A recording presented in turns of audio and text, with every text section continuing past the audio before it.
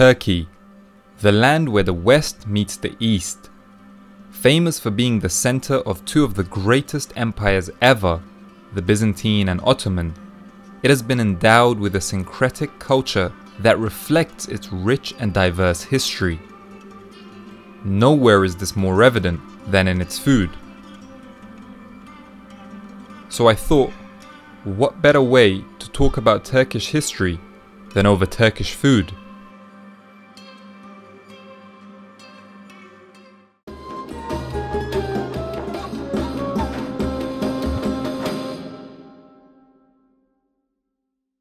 Welcome back to a new episode of Digesting History.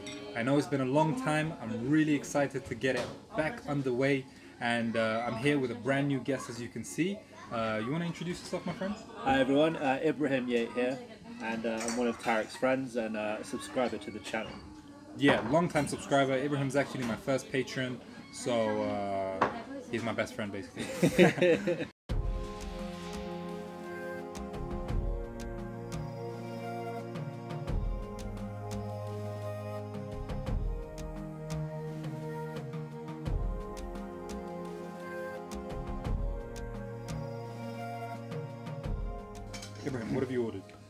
ordered the paja korba, which is a soup that's made from the meat of the neck of a lamb. Right.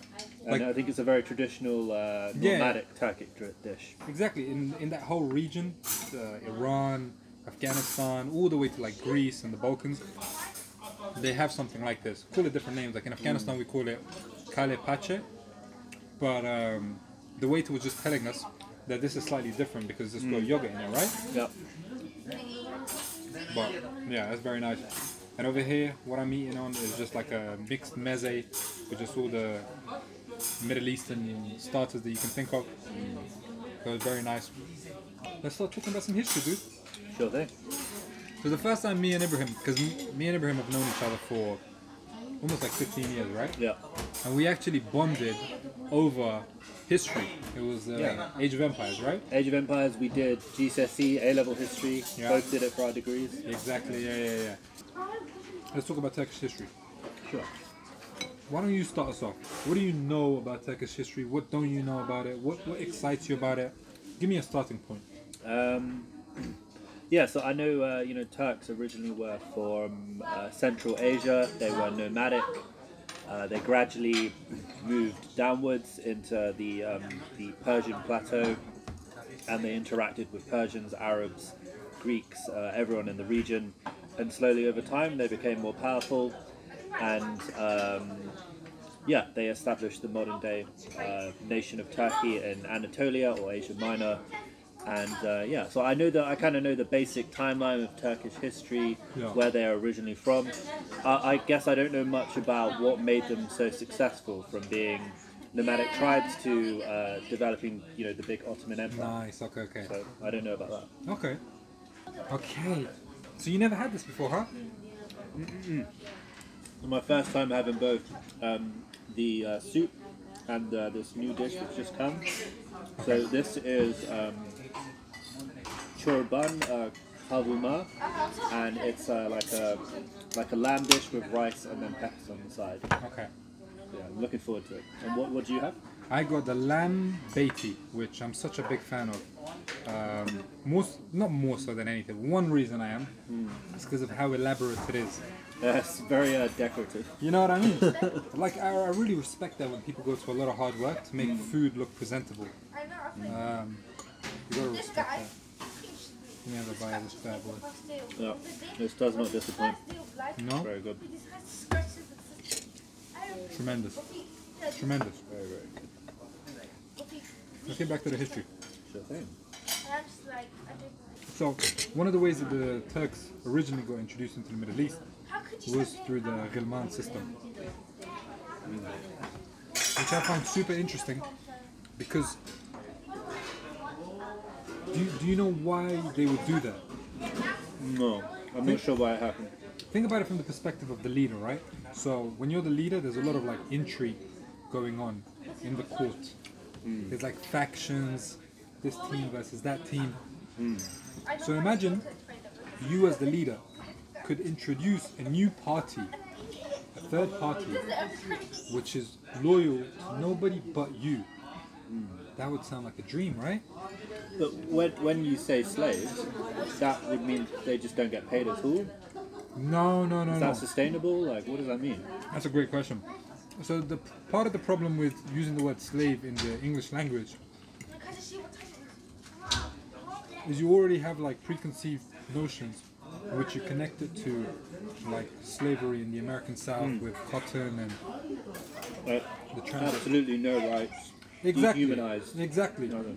These people were not like I'm not trying to make it out to be like they, they were like it's a good thing or anything because they do get moved away from their, their their where they were born, where they were raised, and everything. But the level of opportunities that they get that they were given in life, you can't even compare them. Like Yeah. these, like there's whole dynasties born out out of the system. You know what I mean? Yeah. You got the Mamluk uh, slave dynasty in Delhi. Oh, yeah, there's another question I had. So, Mamluk Hmm. is a phrase that I associated with Berber soldiers, Okay. but I've always heard it. Um, but I've heard it recently being used for Turks and now just for in Delhi in India. Yeah. Um, and I just wondered where did that phrase come from? I thought Mamluk was Berber, African. No, no, no. Oh, and the, uh, the reason you're probably thinking that is because there was a Mamluk dynasty in Egypt. Yeah, exactly. Yeah, yeah, but Yeah, they weren't exactly. Berbers; they were actually Turks. Oh, I didn't. Okay, They- another thing. Yeah, I didn't realize. They, so, the Mamluk dynasty of uh, Egypt is divided into two. The first one I want to say was um, Turkic, and the second one was like Circassian. What's Circassian? Circassian is this beautiful ethnicity in the Caucasus. They're literally famous in the early modern period in Europe for having beauty, like aesthetic beauty. Like there was the saying, like, "Oh, that lady is of Circassian beauty." You know what I mean? Um, and they're really good wrestlers, uh, to, like today. Yeah. Like in the Olympics, when you watch like freestyle wrestling, I don't know how good they are in Greco, but freestyle wrestling is like dominated by those guys. Mountainous warrior people, right? But no, no, no. The Mamluks is like connected to Ghilman. Okay. So Mamluk would be like a slave soldier. okay. Understood. I don't think they're the same word, Ghilman and Mamluk, but they're very close to each other. Okay. Yeah. So uh, that's how they were first introduced to Turks into the Middle East through that system. But some of these Turks, they looked around, and after like a generation of being loyal to the Caliph, they looked around and saw so much weakness in the Abbasid Caliphate that they sensed opportunity. So what they started doing was they started setting up their own uh, dynasties and states Yeah. like Ahmad ibn Tulun in uh, Egypt and Syria, and uh, other places, like even the Ghaznavids. Ghaznavid. Um, So they started asking themselves, why do I need to be in this situation when I could rule better? I could do this better. exactly, and to be fair, it's a good way of putting it, because they, in some ways, they did do a better job. So that's all like the 9th century, 10th century. So when the Seljuks invaded the, the Middle East in the 11th century, they did uh, something which the Ghaznavids had done like 50 years before them, Yeah. and that would become a pattern for future dynasties as well. And it's one of the most important, most important what developments, Yeah. and it's called the Turco-Persian tradition. Okay. What do you think that means? Now, when you hear it, what comes into your mind? So, from my current knowledge, I know that um, there's a lot of like cultural and government administration overlap between Turks and Persians. They Nice. interacted a lot. Nice. They Yeah. took ideas from each other. They shared ideas, and I guess the, the Turco-Persian tradition mm-hmm. just refers to the fact that more so than maybe other cultures around the time, Yeah. they they were kind of mutually dependent or they flourished off of each other. Like there's lot there's lots of uh, similarities between them and they're deliberate. They're not just by accident. Nice. Yeah. Exactly. My friend Ibrahim here, he's Iranian, so he's being too humble. The relationship, the relationship was a lot, a lot more. Is everything okay? Everything's amazing. All good. Thank you. Appreciate it, man. Thank you. The relationship was a lot more one-sided than what he just made it out to be. What it was uh, is that it's Turkic dynasties appropriating a Persian governmental system. It's not. There isn't so much back and forth about. No offense to the Turks. Turks teaching the Persians about like bureaucracy and things of those nature. Yeah. Yeah? And that's not to take anything away from them or anything. It's just the Persians had developed a really good system by this point, whereby, like most Islamic uh, Islamic uh, dynasties and governments that were created, would in some ways or another kind of use the model that was left behind for them by the Persians. Yeah, yeah. I mean, um, you know, Persian empires had been around for a while, so just by virtue of that fact, they had a long time to perfect these um, ways of organizing society. You know? Like, This guy is so humble, yeah. It's that. you could say that. But you could also just say the Persians were incredible at, at statecraft. That's literally what it is. Because the Achaemenids themselves, oh, you suppose it's- um, yeah, there were three, r- roughly three Persian empires. right, right. Yeah, Achaemenids, Parthian, and then Sasanian. Right?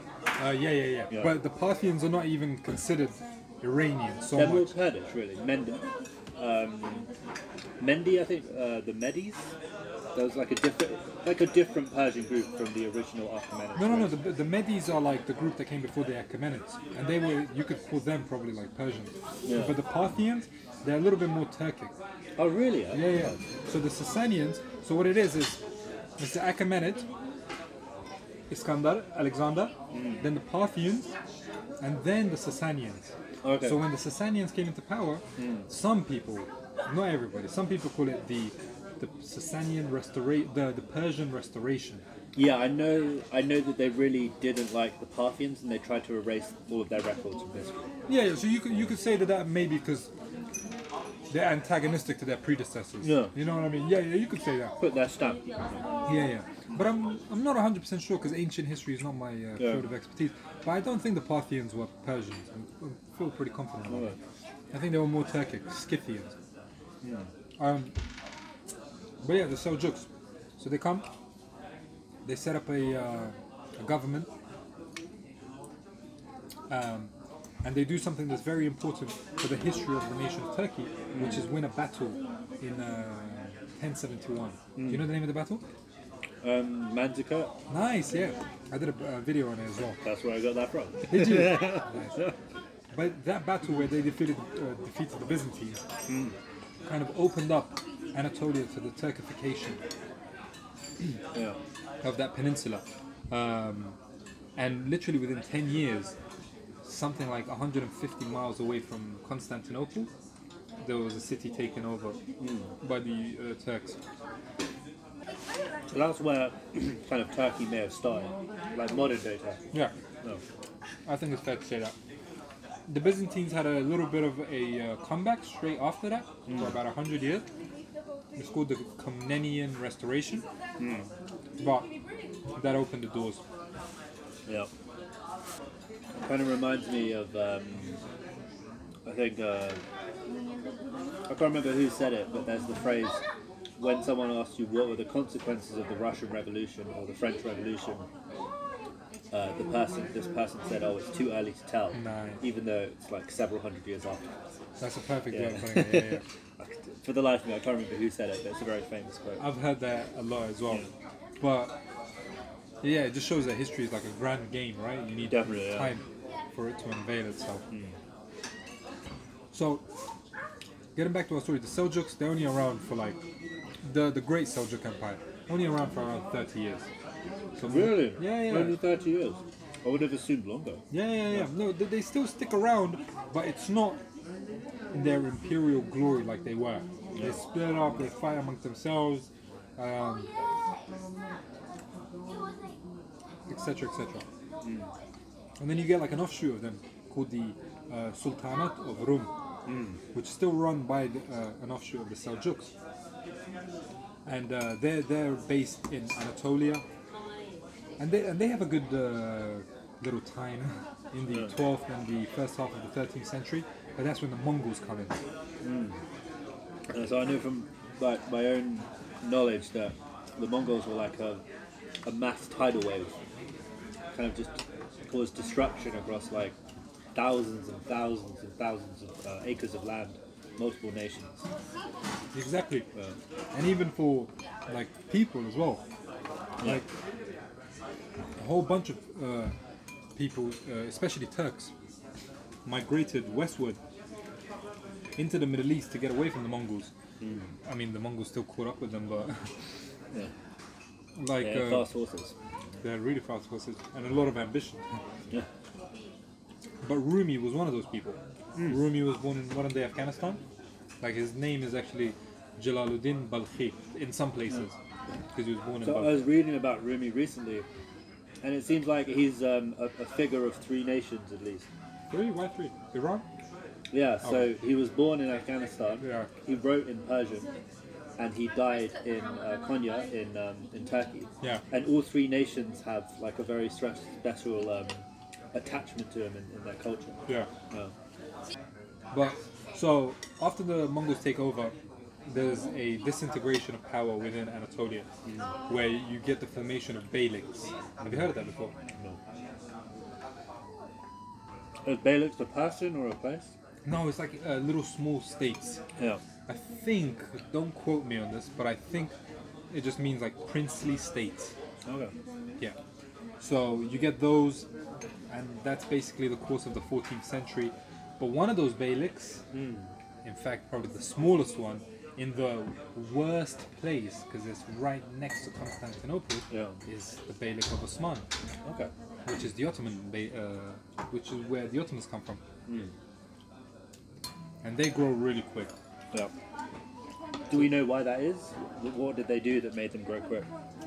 There's, there's like a lot of historians have thought about this, and there's a bunch of different reasons. One of them is the fact that the fact that they were so close to Constantinople might have actually worked to their advantage, because, and I think this is called the the Ghaza theory. Is Ghaza is like the Arabic word for uh, holy war. Okay. You know what I mean? Like, Yeah.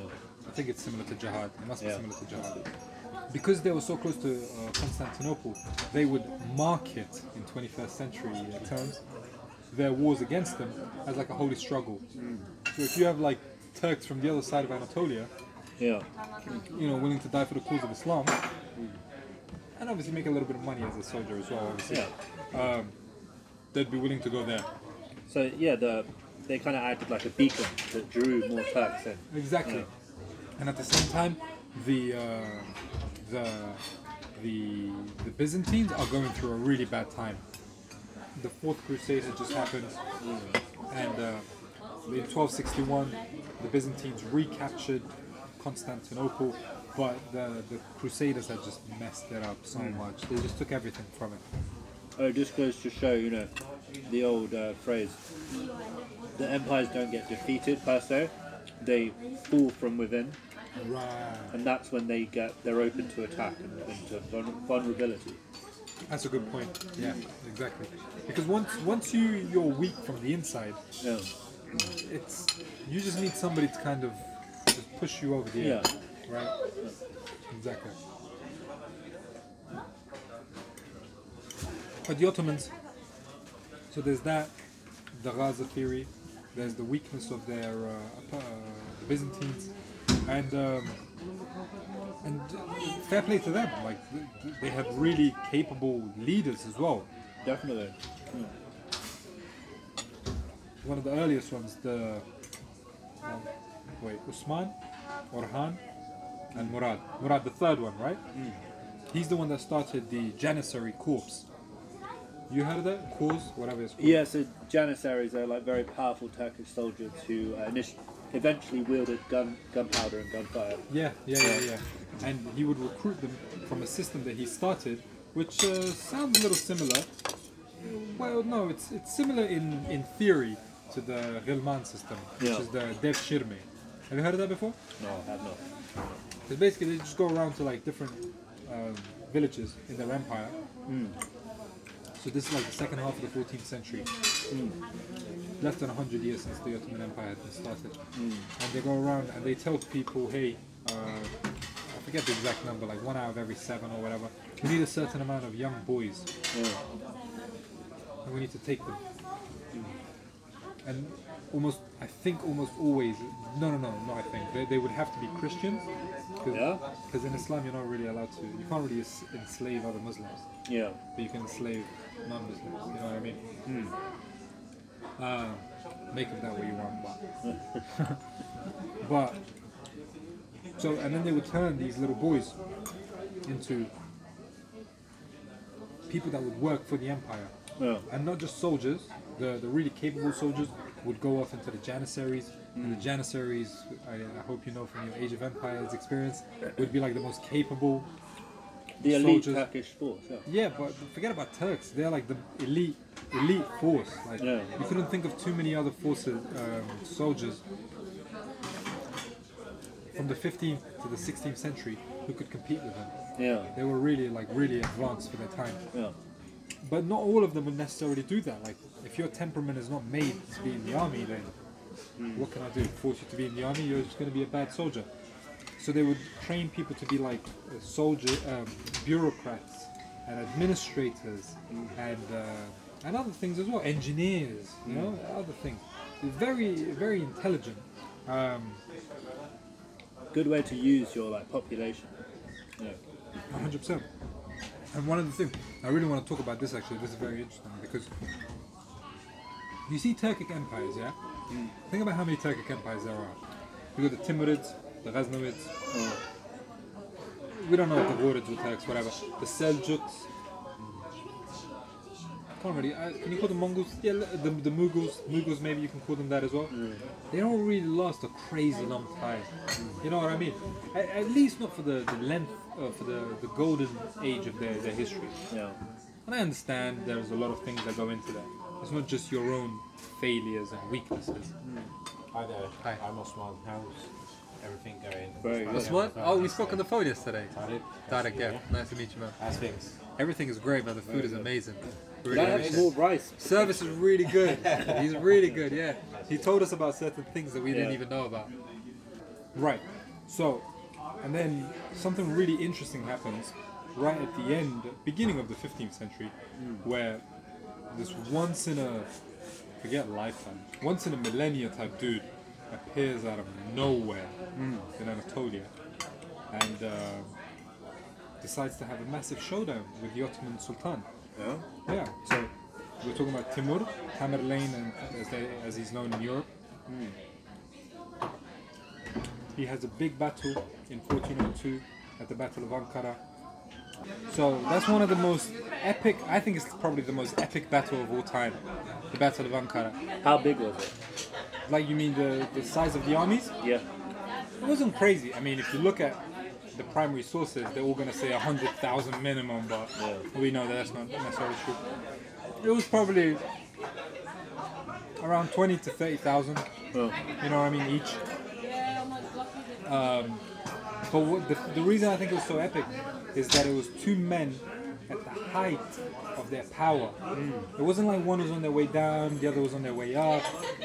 There wasn't a mismatch Oh. and uh, they fought, and that doesn't really happen that much in history. Even in like boxing and MMA, like today. Yeah, that's what I was kind of referring to earlier. Often a big empire will fall. Um, obviously, because the other side is excellent, Yeah. uh, they have momentum. But there's also the factor that they're just weak from years of decline, and then Yeah. it doesn't it doesn't take a- as much as you'd think to just wipe it all away. Exactly, exactly. That's the norm, right? That's the norm in history. That's that's the way that it happened. But with this battle, what happened was Timur basically outsmarted uh, Bayezid, and Bayezid was a bad dude. Like obviously we don't need to talk about Timur, his reputation. I think you can put him up there with um, Genghis and um, and Alexander as the greatest conquerors of all time. But Bayezid was a bad dude as well. He had just defeated the siege of Nicopolis, a bunch of different crusaders. No, the crusade of Nicopolis. Pardon me Yeah. a bunch of different crusaders trying to take on him. And he was besieging Constantinople.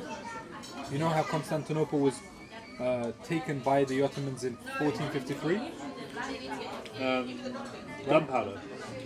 Yeah, uh, but it was taken in 1453, right? Yeah. A lot of people say that it could have been taken in 1403 if Really? that Battle of Ankara hadn't happened. Okay. because Bayezid wanted to do it.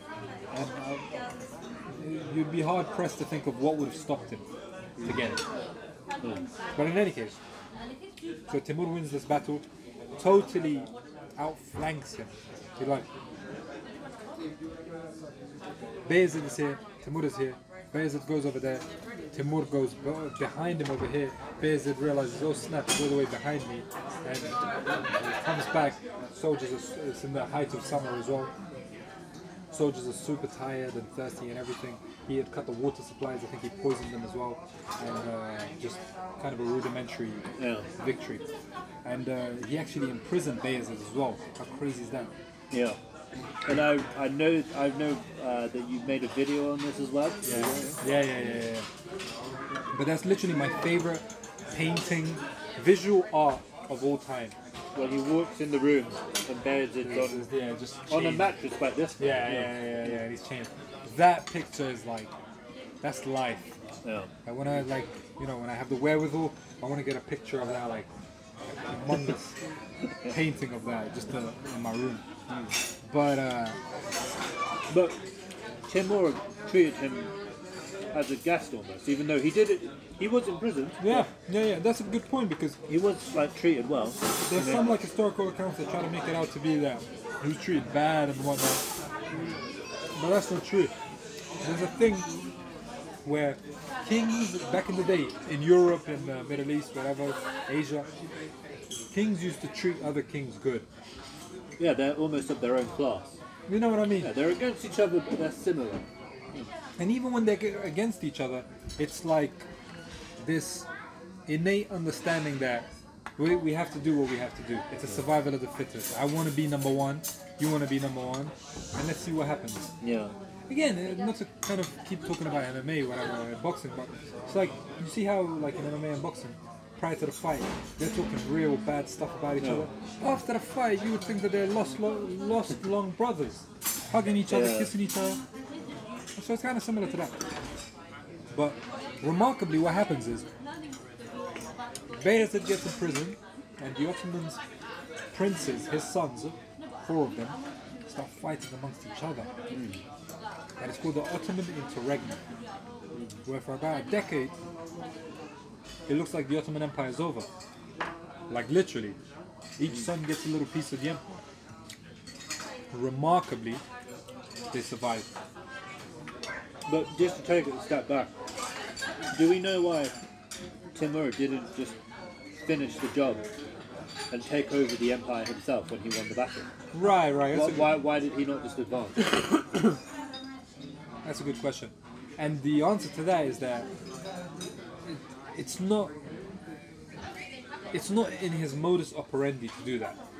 Like even if you look at Timur's empire, on on on, on in a on a map, it doesn't look that huge. But if you look at the kind of areas that he conquered or he looted, it's way bigger. So, and this is kind of it feeds into the whole. It's slightly more of a Turkic way of doing things, and this is why the Ottomans are a little bit different because they would establish governance and settlement there and their authority. Whereas Timur like went to Delhi, uh, looted it, sacked it in 1398, but he didn't like take over Delhi. Delhi wasn't his. He just he came just back. wanted the plunder. He wanted the plunder, that was it. So once he got rid of the uh, Ottomans, he left Anatolia to his own allies. Because Bayezid had actually united Anatolia mostly under the Ottomans. Lost that, all the Beyliks come back. Takes like another 60, 70, 80 years before the Ottomans could like uh, take over Anatolia again. But that's one of those remarkable stories in history where it looked like the Ottomans, before they even reached their golden age, before they even take over Constantinople, at that moment in time you would have thought, oh, the Ottomans are over now. You know what I mean? So it's remarkable, I think. So like we were talking about the Ottoman uh, interregnum, remarkable. So they managed to bounce back and uh, by the middle of the 15th century, they're ready to strike against uh, Constantinople. Do you know the name of the ruler who took over? Uh, Mehmet the Conqueror, or Mehmet the the second. The second, The yeah, second, yeah, not the yeah. first. The first was his granddad, I think. Yeah. Uh, but yeah, Mehmet Fatih, the conqueror. And uh, at the tender age of like 20, he managed to take over Constantinople. Incredible. Amazing, amazing. Um, but you, I remember you asked me a cool question about Mehmet Ah, yeah. So before. one uh, one of the things I've always wondered about Mehmet the second is why he chose to stylize himself Right, right, right. as um, the new Rome or the new Roman emperor. Yeah, yeah, yeah. Which to me comes across as a bit odd because uh, from what I know, he motivated and inspired his troops. Uh, as as kind of an Islamic leader, he said, "I'm continuing the Prophet Muhammad's work." Uh, you know, the, the Islamic Caliphate in its in its origins did want to take over Constantinople. So if we do it, we're carrying on their work. So on the one hand, he comes from that sort of angle, Yeah. uh, the Islamic Crusade sort of angle. But then once he actually achieves his objective, he gives himself an epitaph that's from a non-Islamic civilization, Rome, Right.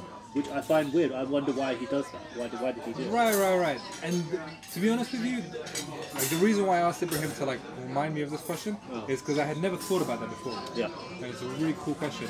But more than anything, I think it's to do with the glory, Yeah. right? Because if you look at the Roman Empire, it doesn't matter if you're Muslim, you're Christian, you're Buddhist, you're Jewish, whatever you are. When you look at it, you do think of glory. It's the pinnacle. In some ways, you can even argue it's the pinnacle of like imperial ambition. Yeah. It's one of the greatest, if not the greatest, uh, imperial project ever. Would- Right? So, if there is a way in which you can inherit that, Yeah. it's going to do nothing more than to buttress and support and raise your level up as well. And you, and I see what you're saying with the whole um, religious component of it. Yeah. But I think you can do that on a quote unquote secular level, Yeah. where you can just because the Romans themselves they weren't Christians. They were they were the original persecutors Yeah. Constantine, you know, did his thing and he converted to Christianity and all of that. But it's more to do with like uh, imperial ambition more than anything. Just to take up that mantle. Take up that mantle. And Mehmet was really serious about it because he uh, he tried to invade Italy as well. Ah, Did you know that? Yeah. Literally, the year before he died, because uh, he took over this little town, village, I don't know, uh, in uh, Italy called Otranto. Yeah. The uh, Italians retook it because Mehmet died. But people were like really worried that you know Mehmet was going to come in Europe, that Mehmet was going to come and just take over all of Europe. So what? Once he dies, Yeah. what happened to the Ottoman Empire? Was was he replaced by someone as capable or even near his his capabilities? Kind well, definitely not like him because Yeah. he's like you know once in a history type, you know, A great man. a great man, right? But his son wasn't. He was half decent as well. Yeah. Bayezid the second, and uh, under his reign there isn't a whole lot of expansion. Uh, there's a lot of consolidation going on. But it's in the reign of Bayezid the second's son, the grandson of Mehmed, Selim the first, who only lived for eight years. But he's the one, and this is really interesting. Mehmed Fatih, Selim's granddad, stylized himself as a successor to the Romans, right? And up until the reign of Selim, the, the Ottomans were, if anything, a European power. Really? Yeah. Because if we talk about Salim, that's 1512 to 1520. Yeah. They come about in 1299. Do a quick mental maths. That's what, 213 years? Mm. The first 213 years of your history of a, of a, of a now if you ask the Ottomans if you ask people about the Ottomans they're going to tell you oh it's a proper Muslim Yeah. Middle Eastern superpower. Middle Eastern superpower first 213 years they didn't even enter the Middle East Why? Why is that? Because their whole focus was towards the Balkans. Yeah. and for a little bit Bayezid the first and uh, after you know uh, after the Ottoman interregnum when they started to get their things back together in Anatolia as well a little bit. But you can argue that Anatolia was a part of Europe at that point. Yeah. under the Byzantines and everything. So they never necessarily like their focus their imperial focus was towards Europe. The Balkans like they, they moved into the Balkans way before they even moved into like eastern Anatolia Yeah. you know what I mean? Um, and it's only in the reign of Selim that they take over Syria uh, and Egypt. So Kind of interesting, huh? Yeah, I would have always assumed that they would be Middle Eastern facing, and the only reason they engaged with Europe was because Europe didn't like them and wanted to push them further back. You know, I never realized they actually wanted to push into Europe. That, that's you know? why I find it so interesting because I thought the exact same Yeah. thing, but it's obviously not that. It's, it's the the opposite. You know what I mean? And the pull, actually, considering where we are right now, we're eating at a restaurant. The move into the Middle East would have had a great impact in the Ottoman culinary Well, the cuisine, yeah. the cuisine as well. You know what I mean? Like if you like what I said about the meze, uh, mixed meze at the beginning, right? You go to a Syrian restaurant, a Lebanese restaurant, you kind of get similar ones. Yeah, and I'm sure there must have been some influence from Eastern Europe on Ottoman cuisine and maybe vice versa. There must well, vice versa, 100%. Yeah, yeah. Because when you go to Bosnia and Albania, they eat baklava. You know what I mean? Yeah. Uh, they eat uh, kebabs, uh, all these things. I am not 100% sure about how much influence. I'm sure there must have been, but I'm not sure how much influence they had. Yeah, the Balkans had them. Uh, Yeah, exactly. But they must have. They must have. Hundred percent. So, but it's it's really with Mehmed taking over uh, Constantinople that the Ottomans really enter their golden age, and that's when like Constantinople becomes this this place which, like you know, idyllic. You know, it looks like some sort of a utopia, and then you get Suleiman the Magnificent like a uh, century later.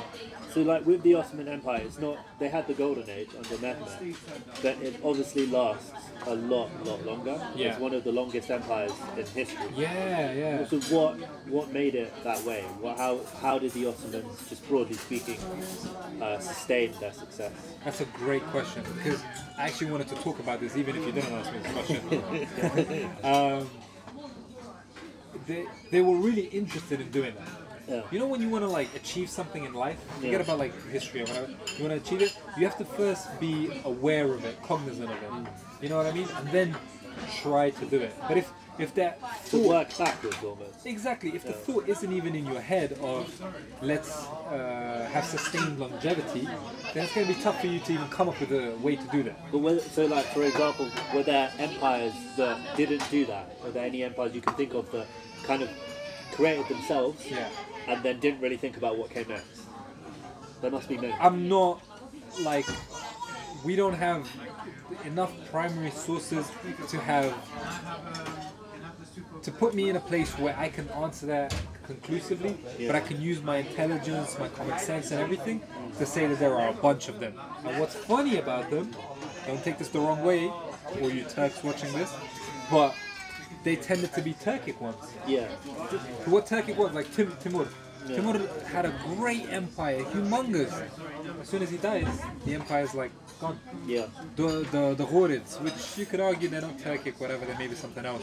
But after um, Shahabuddin Ghuri, Muizzuddin Muizzuddin Ghuri dies, within 10 years, an empire stretching from the Caspian to the Bengal, Yeah. gone.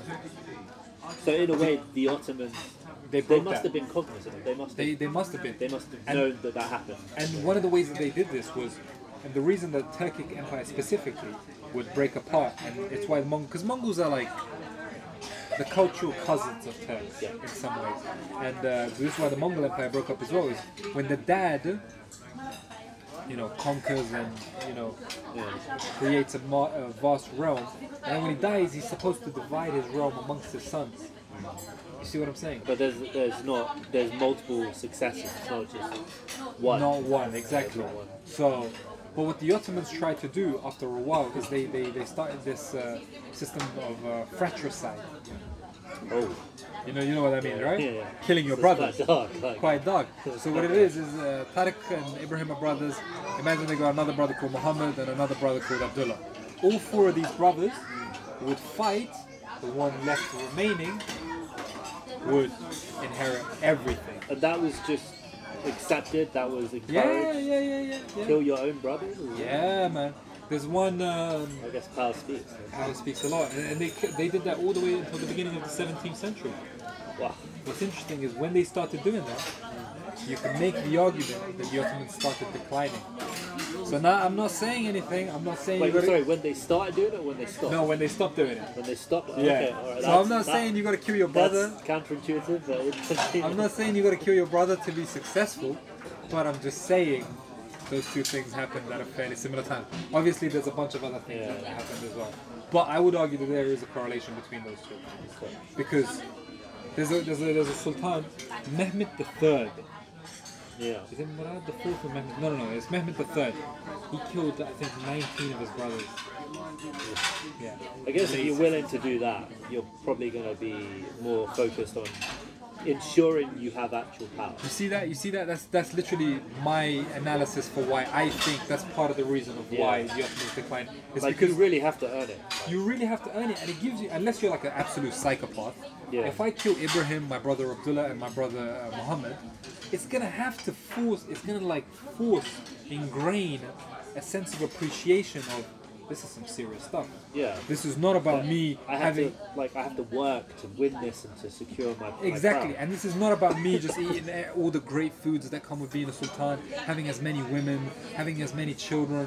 There's like, there's work that goes to being the sultan. It's not like a lottery where I kill my brothers and now I can just live and be fat and just Yeah. whatever. You know what I mean? You gotta like focus on the task at hand. Yeah. So, do you uh, think it helped create, in a weird way, like internal unity, like consolidated power? I don't see how you came to that. What do you mean? I, basically, what I mean is, if it, it, it creates, it's a system that maybe creates an undisputed ruler. Right.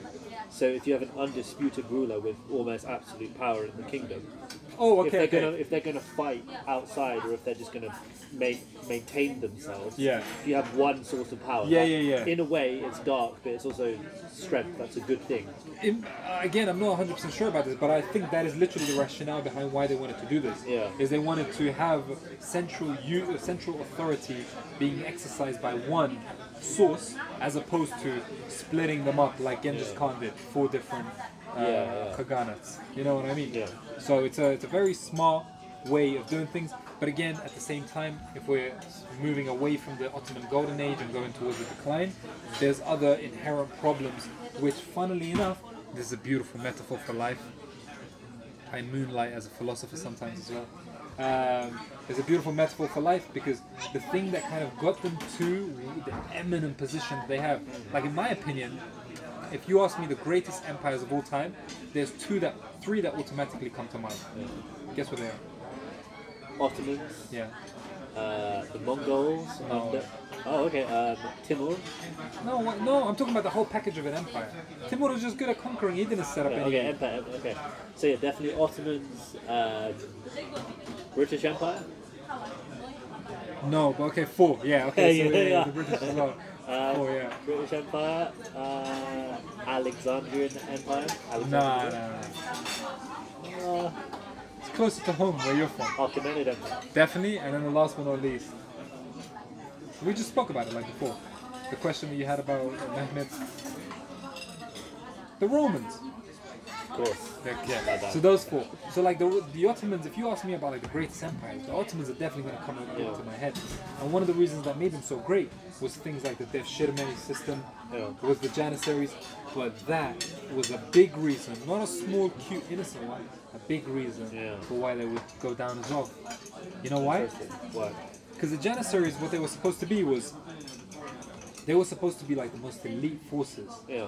See what I'm saying? Yeah. So they, obviously, they had a bunch of rules around them as well. Like they had certain things like, I don't think they could have shaved off like their beards.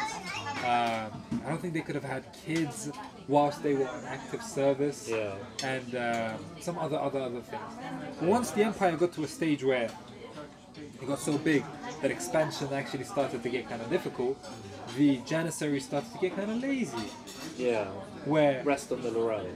rest on their laurels where they wouldn't necessarily like somebody could be a janissary and take advantage of their official position slash status as a janissary and take advantage of all the positives that come with that Yeah. financial and everything but not fight Yeah. like they would just get somebody else to stand in the way so it goes back to the problem of having power but not appreciating it. Like not appreciating what goes into keeping it. You know? Eh, yeah yeah yeah what it exactly means, exactly and but this is really good because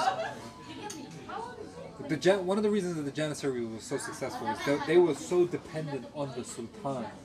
Because the Janissaries were supposed to be like the elite bodyguard of the Sultan. Obviously, they expanded, and at some point, they const- there was like 50,000 of them as well Yeah. at one given time. But what that what that what that tells you more than anything is that there's a symbiotic relationship between having a strong figure as a sultan in order to keep these savages, let's call them savages, janissaries, soldiers, Yeah. hungry and and focused on what their task is. But if this dude, the sultan, gets kind of lazy, gets kind of fat, Yeah. rests on his laurels, focuses on the pleasures of life, forgets about the seriousness of statecraft, then these guys are going to fall by the wayside as well. You see what I'm saying? and it gets yeah. to a stage where you actually get a sultan being executed By Janissaries. Less than So a when, when, when did that happen? That's uh, Osman II. He was kind of young, but that's like 1622, I want to say, Yeah. So why, why did they execute? him? because they just didn't agree with it.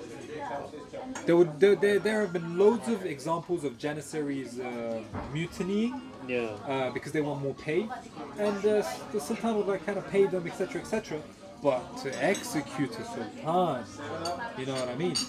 Yeah. and it would uh, it would literally be 200 years later in 1826 in something called the auspicious or inauspicious incident where the sultan for like decades planned the downfall of the janissaries he started his own new corps called the nizami jadid the new corps uh, cause is it corpse or cause I would say corpse. I think Corpse, corpse. right? Yeah, corpse. but it's like french so the p the french is always like silent Probably, yeah.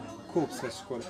And uh, over like 15 years, he planned this, and then boom, in one day, he executed 6,000 janissaries, 6,000. up to like 6,000, and he just got rid of all of them. And he had to do this all in secret, because But, obviously, but that's the thing, like, that just shows that um, without, like, a single authority figure with enough power, you have to take ages and ages and ages Yeah. to consolidate it. Whereas before, I bet that didn't happen. Like, you had loyalty. yeah, yeah, yeah. Like, you had swiftness. I know what you mean. You know what I mean? But on the flip side of what Ibrahim's talking about, and I totally agree, and it's a great point what you're saying.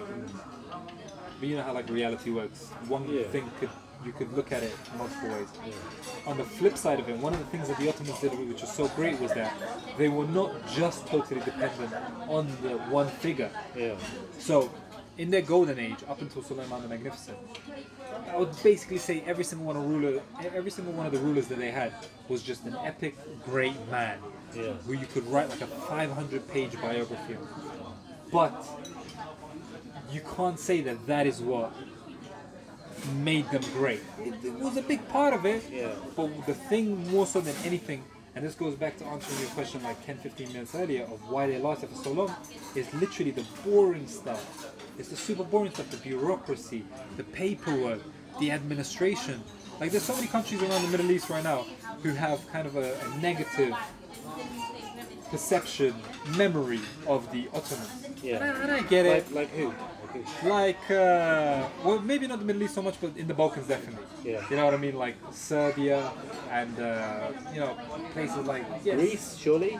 Yeah, Greece, Greece as well. under, yeah. yeah, yeah, yeah, definitely. Like Serbia, Greece, Bulgaria. Yeah. Um, even some of like the Middle Eastern countries, I've read uh, uh, in 20th century history, like Syria at certain points, and places like that. Um, Egypt was was also. and Egypt as well. You could you could you yeah, could they put were that at time. Yeah, at a time. You could put them into that category.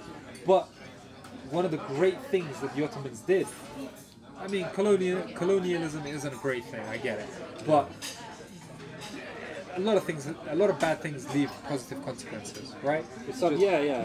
It's a harsh reality of life. It doesn't make colonialism okay. It doesn't make the bad thing that happened. Uh, it doesn't whitewash them or vindicate them.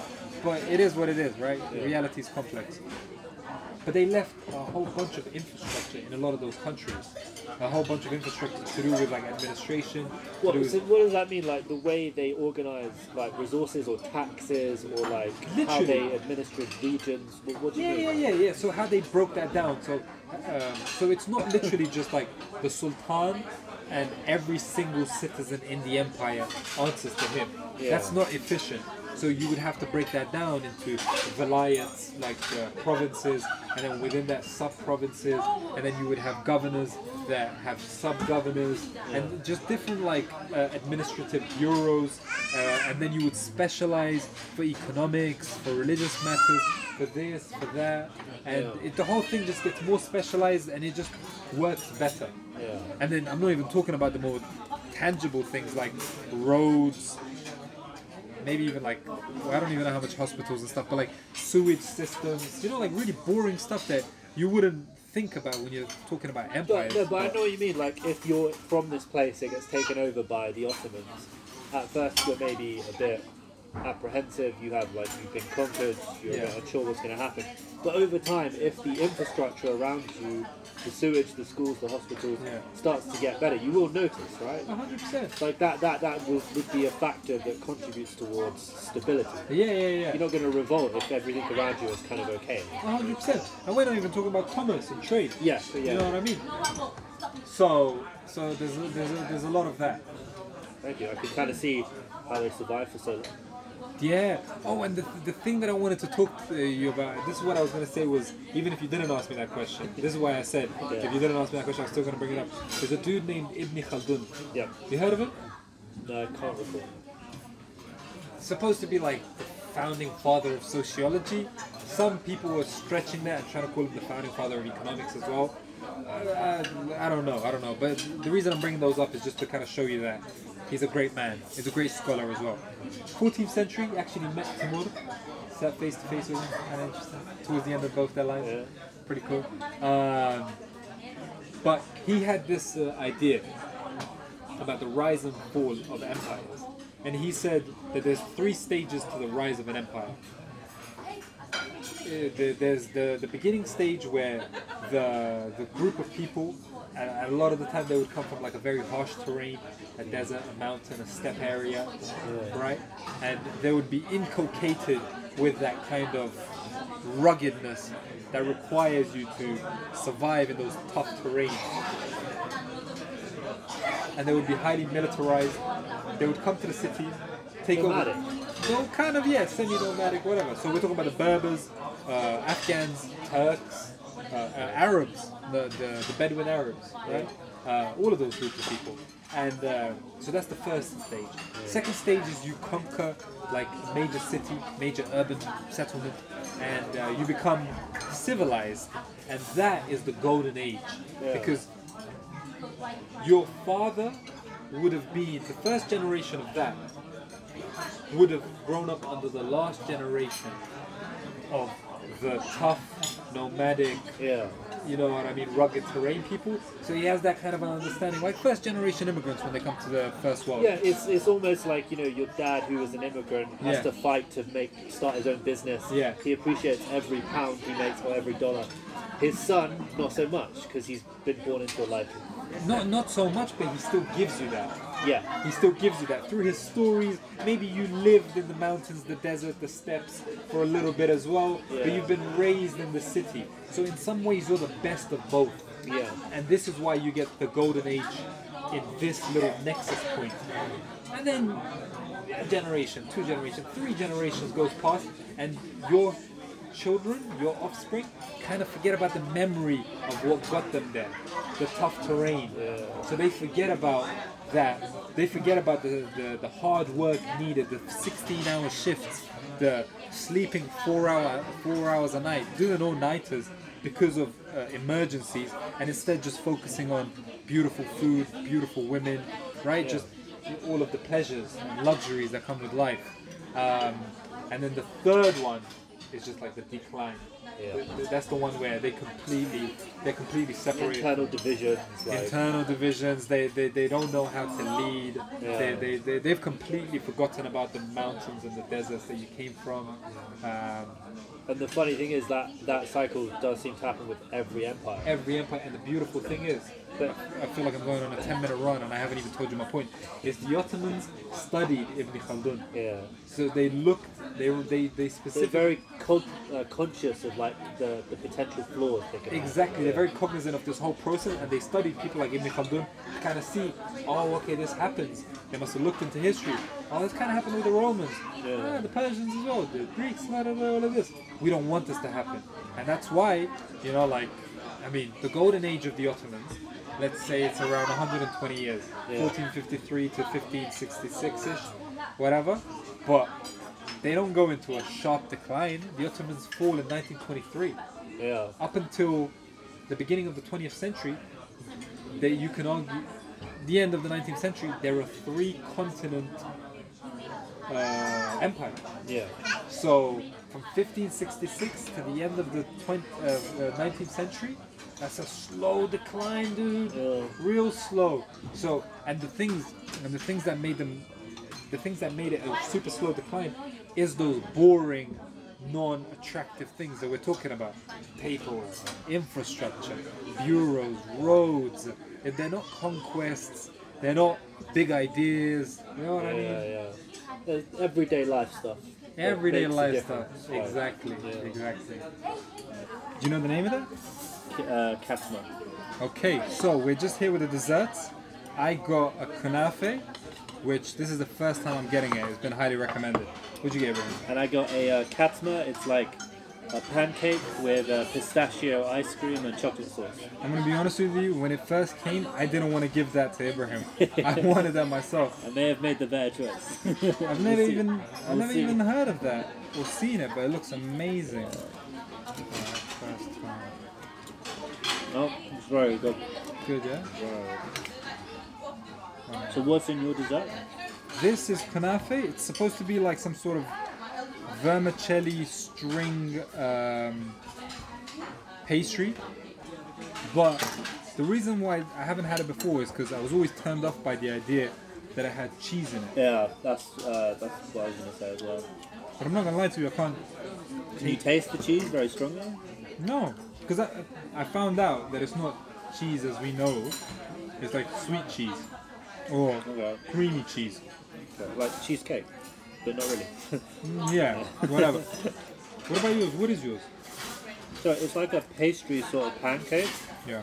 and then it's got pistachios on top with some chocolate sauce, and um, I think this is vanilla ice cream.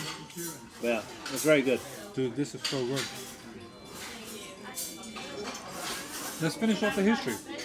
So then, So, I think we're up to um, nine- 19th, 20th century. yeah, somewhere around there. So, we're talking about in the somewhere towards the beginning of the not the beginning, but like in the middle of the 19th century. The Ottomans embarked on this program of modernization in every way technological, political, social. And that leaves a huge legacy which is succeeded by Ataturk. I'm sure you've heard of that dude, right? Definitely, yeah. So He's a big name in Turkey. yeah, yeah. When I went to Turkey, I don't know if it's like a law. I don't think it's a law, but everywhere I went, like a shop, hotels, hostels, they all had a picture of him. I don't think it's a law, but I, I think people just respect him a lot. Yeah, he's venerated. Yeah, exactly. Because he's supposed to be the one that, after World War One, obviously the Axis lost, right? So the Germans, the uh, Austro-Hungarians, and the Ottomans. And when the French and the British were, oh, here's the cheese. Interesting. Pretty sweet. When they were talking about uh, splitting up the Ottoman Empire, the country based in like Anatolia, which was supposed to be Turkey, was supposed to be tiny origi- uh, originally. Really? Very small, way smaller than it is now. Armenia was supposed to be way bigger than it is now. Greece was supposed to have certain parts of Anatolia, like Izmir and those kind of areas. Yeah. Oh. But the reason that didn't happen is because Ataturk led uh, something called the Turkish Wars of Independence. Long story short, he won it, and he forged out this new country called Turkey, and uh, he kind of set it on a very different trajectory to the other countries in the region. In what way? like he embraced secularism, moved them more from the east to the west, in the sense that he forgot about the old uh, Persian Arabic uh, uh, letters alphabet and uh, embraced the Latin alphabet with the clothing. Just tried to thoroughly Europeanize Turkey. And- So today, is Turkish written in the Arabic script or the Latin script? the Latin script. And that's because of Ataturk? Yeah. Because you got to remember, at the time, Ataturk's one of those guys where it's very divisive. You either love the guy or you hate the guy. Or you're like me, you love and hate the guy. you know what I mean? Um, because what you got to remember with him is, and the reason why you got to love him is that he was like a real patriot. I'm not even Turkish, but if I was Turkish, I'd love the guy for this reason, in the sense that he really loved his country and he loved it in the, so much that he wanted to strengthen it. And at that time, his ideas of what it meant to be strong was being more like the Europeans, No. which you could look at now and go, "Oh, he sold out. He, uh, yeah, he sold out parts of his identity." Which I think is kind of a fair thing to say, to be honest with you. But you can only say that if you take into consideration the time period he lived in. Yeah, so it's almost like if he didn't do that, there would be severe material consequences. That's a beautiful way of putting Right. it. Exactly. Yeah, he At- had. He didn't have to, but if he didn't, It's almost as if at that time he had to. Yeah. Because at that time, you could probably count on one hand how many Muslim countries were independent. I could probably cut off two of your fingers on your hand, and you could still count how many Yeah. independent Muslim countries there were. And all of them were colonized by Europeans. yeah, And you look at just GDP, wealth, trade, just every metric of material progress, the Europeans were achieving it. So why wouldn't you want to be like the Europeans? It's Yeah. really easy now to look at it and go, oh, but he could have found another way. It's like at that time when you're fighting for your very existence, you're gonna tell me, oh, there's another way?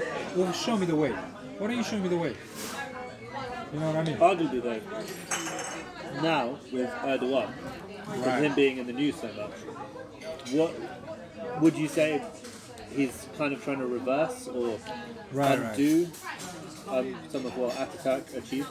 that's a really interesting like uh, development Yeah, because it seems like Ataturk no Erdogan has gotten to the stage where he feels confident enough to be able to reassert those traditional elements of Turkish identity and there's some people watching this who are fans of Ataturk and do not like Erdogan and I'm not gonna like what I just said but like I'm just saying like a Turkish. I'm not saying like a Turkish person's not supposed to wear suits or wear this, but I'm just saying like the traditional attire, the traditional culture, the traditional uh, religion, the traditional way of life of a Turk had been different to what Ataturk envisioned it to be. Yeah. Now that you can make loads of different philosophical arguments about uh, what does tradition mean. Tradition can be in flux. Tradition doesn't always have to stay uh, stationary, etc., etc. I'm not talking about it like that. But Erdogan seems to be in a uh, seems to be at a place in his head where he feels strong enough to be able to assert his own spin on things, the way that Erdogan did, uh, the, the way that Ataturk Yeah. did. I always confuse those two so much. two sides of the same coin. in a weird way, right? So, and I know people have very strong opinions about this in uh, in Turkey. Like, do they like what Erdogan's doing? Like, I made that video about the Hagia Sophia.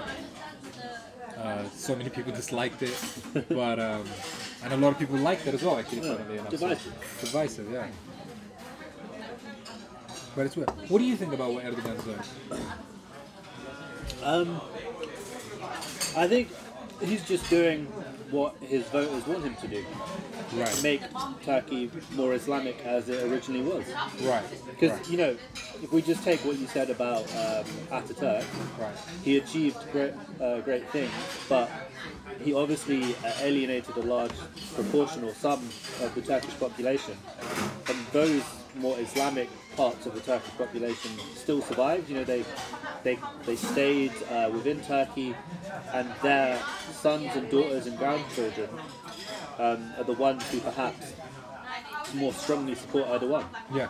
it's just like um, it's a like a demographic or democratic almost battle Yeah. within Turkey to define its identity and what its outlook. And now it's swung from the kind of liberal secular Ataturk one more towards the conservative Erdogan. You know, like it's kind of swung the opposite way. And it, from my perspective, if you just, if you just look at the history of Turkey, kind of seems almost inevitable, almost like The what? that it would try to become more Middle Eastern and conservative. I have a kind of a controversial opinion about this. Yeah. And the only reason I'm gonna say this is because I have a feeling that 95% of the people watching this video are not gonna get to this stage. You've probably logged out. So the people who are really watching at this stage, you're probably, uh, you We know, appreciate your commitment. we appreciate your commitment. So I'm gonna let you into uh, the deepest embers of my psyche. It's not that like I believe this, but that there's a part of my brain that entertains this. Gotcha. one one kind of group of one kind of personality that I've been interested in in history about, and like e- even in the present time, are people that that that need to do something. I don't even know how I'm gonna like phrase it, but like basically what I'm trying to say is that there's a part of me that entertains, and I'm not. I don't even know where I get this from. This is just like the inner history nerd in me hypothesizing that Ataturk, his intentions were pure in what he did, in the sense moving Turkey away from its traditional cultural uh, traditional culture and moving it more towards the European side, solely from a material perspective of gaining more power. But I would have, I would hope, you know, that at some point Ataturk would have realized that this isn't like a permanent thing Yeah. that this shift towards becoming more European isn't permanent, mm. and that we're only going to do it so that we can appropriate the positive benefits that come with it, and somewhere down the line is going to happen what's happening right now, which is Erdogan is going to bring it back to its more to what it was before. Yeah. You see what I'm saying? Yeah. But he didn't think he was changing Turkey for us. Yeah, like he wasn't He wasn't changing what Turkey is, like its identity. like the essence or the root or the identity of it. He had to do that because in order to kind of instill change, you need to do it in a very uh, comprehensive manner. Yeah. And it would be kind of weird to just go up and make a speech to people, hey, we need to change this and kind of keep this. That would make sense, but sometimes like with huge groups of people, Yeah. it's more easy to be like dictatorial. Yeah. You know what I mean? But this is just me like I don't I don't even necessarily believe this, but it would be really cool if this was true. Yeah. But we can never truly know what um, thought. Right, right. Because he's a really weird character. Because there's huge parts of his uh, life where Islam was a big part of his life. You know what I mean? Like he fought in Libya, Yeah. and when he fought in Libya, he like instrumentalized Islam. Uh, he was like a commander, and he would always like view that battle against the Italians in Libya as if it was like Muslims against Yeah. the, the, the non-Muslims, and even in Gallipoli. You know what I mean? But was he religious and, and Islamic throughout his whole life? No. There's like, uh, we're pretty sure that he. There's some people that actually say that he died of liver cirrhosis because he drank too much alcohol. Oh my god. We knew he liked uh, alcohol. What's that Turkish alcohol made from like yogurt? Like fermented yogurt? They have it all over the Middle East, different versions. Are you sure there's alcohol in it? There's definitely alcohol. There's I think it's a high quantity of alcohol. Uh, it's got like that brand Ayran or it's like Duke. Yeah, but it's not that. So no. you're saying there's a similar one, but without alcohol in it? Yeah, dude, you know the of Mongol. Dude, you know the Mongol. One of the Mongol uh, Khans, literally like, we don't know if he died, but like, the, the, the, there's primary sources that said that his biggest struggle in life was alcohol, and the way that they would make alcohol with like fermented, uh, not goat milk, but fermented some sort of milk. I did not know you could make alcohol with milk. Are you serious, dude? No, no, I thought it was just yeast and stuff. They didn't teach you that in school. I, am glad they didn't, man. like, why would they? nah. nah, you can make some serious alcohol of that stuff, man. Oh, God. There's Turco-Mongolians. Yeah. Yeah. There's a name, it's just on the tip of my tongue. Yassi? No, I forgot it. But yeah. Alright, man. I think uh, we covered all the history Yeah. of Turkey. I don't know how much of this was like audible because I've had food in my mouth. I'm not even making eye contact. But I hope you guys enjoyed this as much as we enjoyed the meal. Yeah. Conversation was good. Food was great. Food was tremendous. This tea was really good as well. And I hope you guys can join us next time so that we can cover other foods and cuisines and have uh, great conversations as well. Until next time, peace. はい。